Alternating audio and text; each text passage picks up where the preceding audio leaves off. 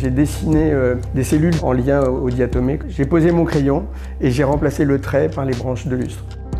Le cristal a cette capacité à renvoyer la lumière de ses mille feux. La taille va rapporter euh, de l'éclat et de la brillance et faire vivre euh, ces masses de cristal. Et c'est ça qui en fait une séduction et qui en fait un matériau absolument unique.